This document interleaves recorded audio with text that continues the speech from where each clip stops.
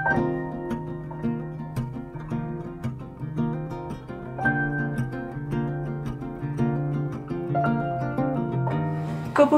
terbang tinggi, jauh di mata, dekat di hati. Terima kasih telah memilih kami dan selamat menikmati penerbangan ini.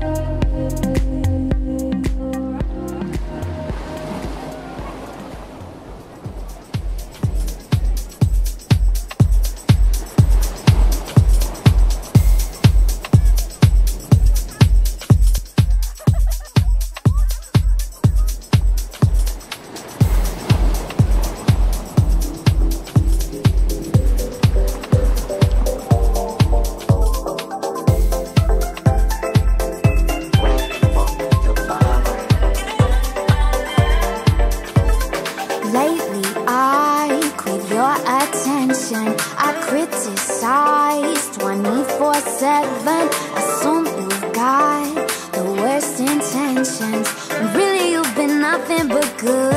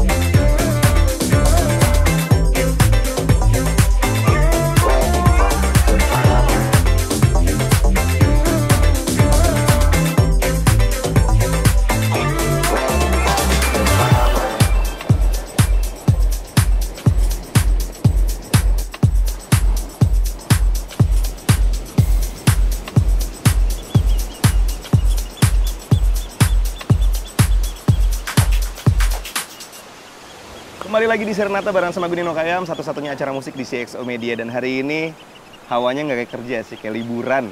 Dan kalau lo lihat, gue pakai kacamata hitam. Ini jujur bukan buat gaya ya. Tapi karena di sini mataharinya terik banget. Gue takut nggak bisa ngelihat langsung wajah orang yang lagi gue interview hari ini. Karena selain emang matanya silau, karirnya silau juga sih buat gue sih.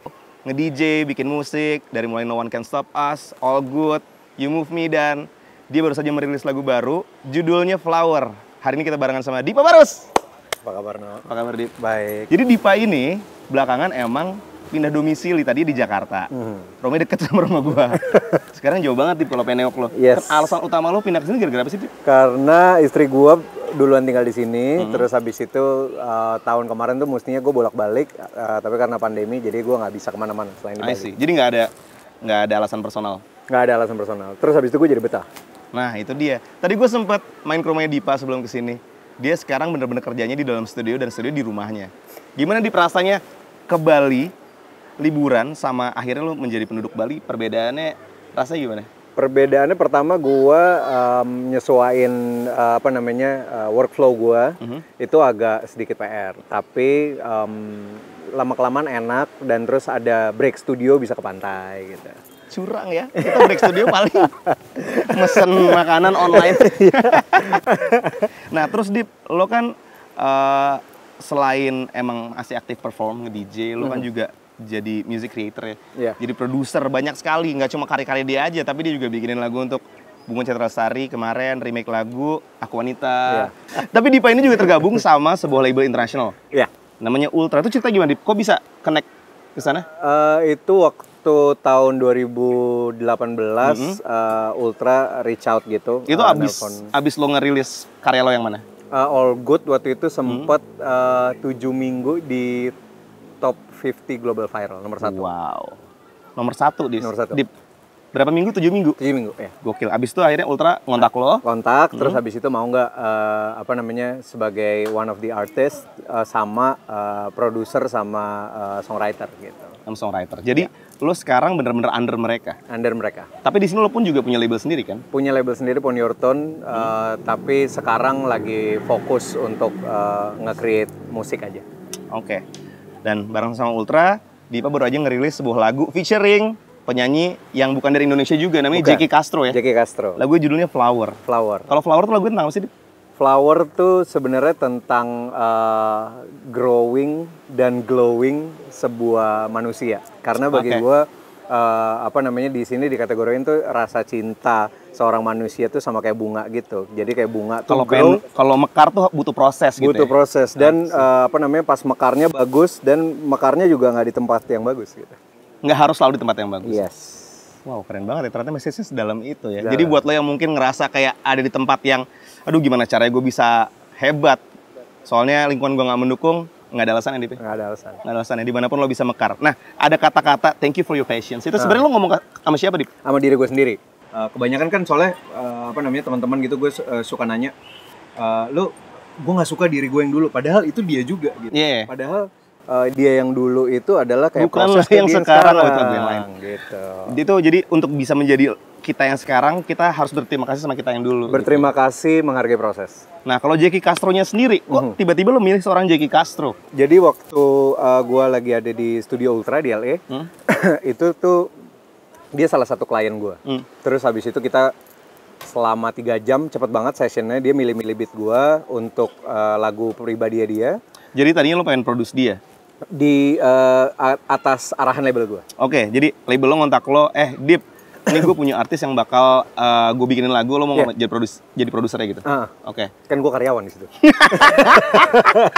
Jadi akhirnya lo ngerjain lagu baru, lo yang nulis juga. gue gue bertiga, Eh, gue terus habis itu Lina Leon, Lina Leon tuh em, pro- apa namanya songwriternya Icona Pop, Mhm. ya, Tiesto, eh, terus habis itu eh, ada grup EXO juga kalau nggak salah. Ya, EXO Korea. iya Korea. Wow. Jadi kayak emang dia eh, emang produser eh apa songwriter dan produser eh, udah lama lah Hmm. gitu. Dan terus habis itu kita ngejam eh, bertiga tuh gua, Jackie di Studio Ultra sama Lina Leon gitu eh, ngerjain lagunya Jackie dua, Hmm. ngerjain lagunya gue dua gitu. Semua itu selama 4 jam.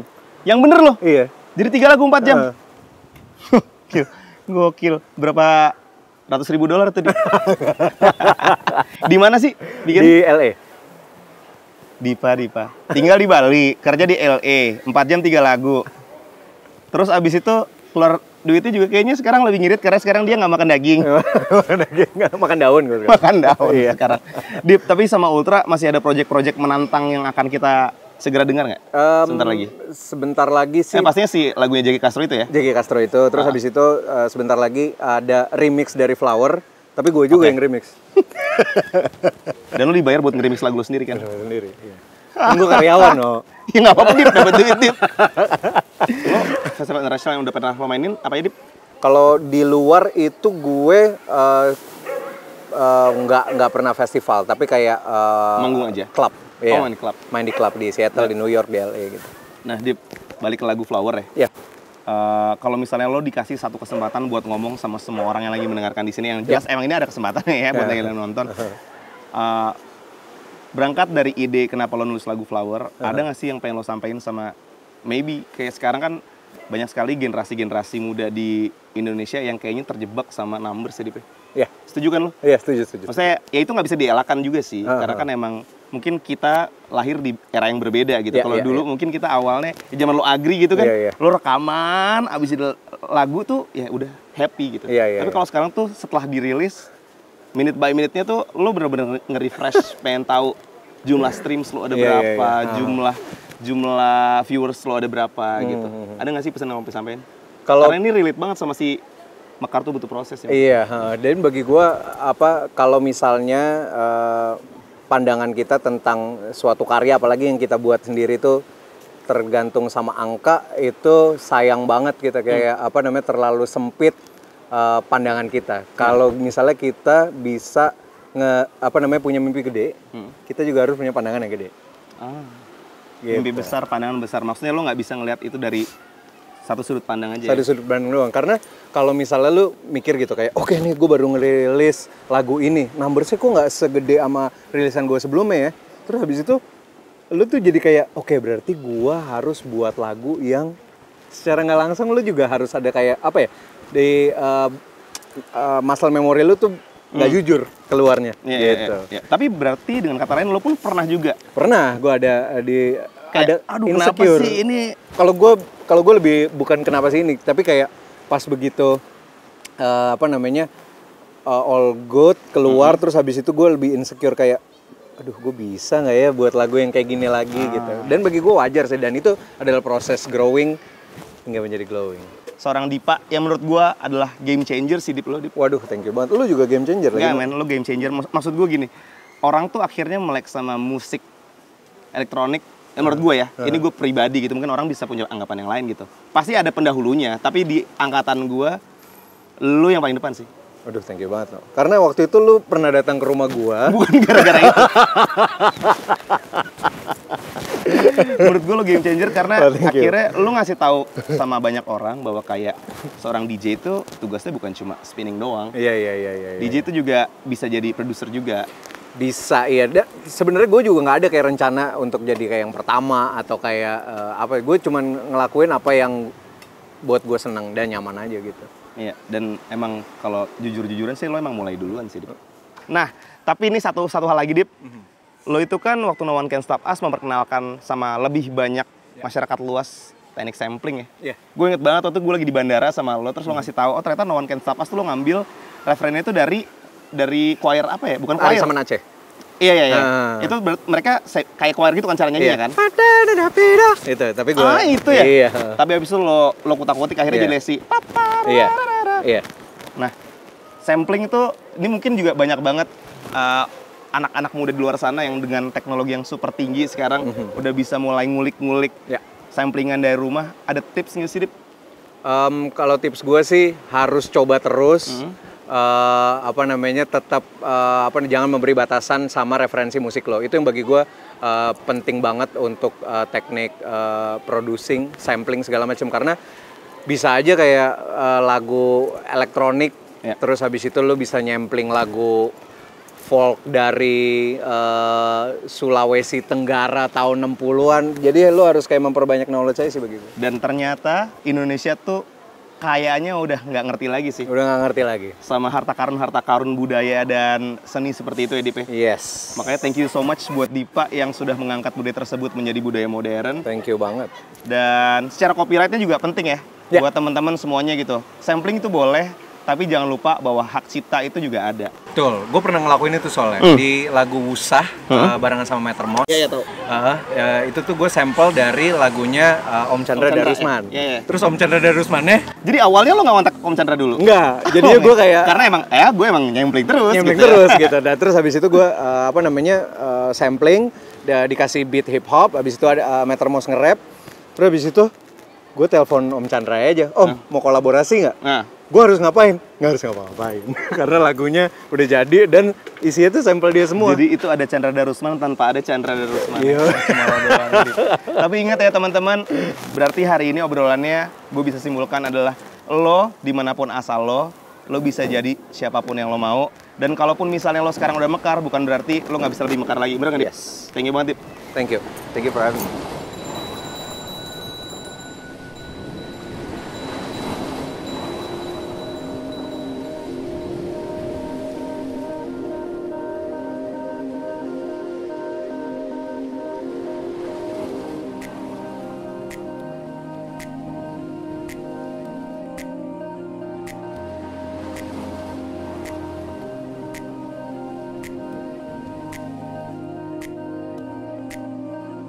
Pertemuan dan perjalanan singkat ini benar-benar berarti buat gue.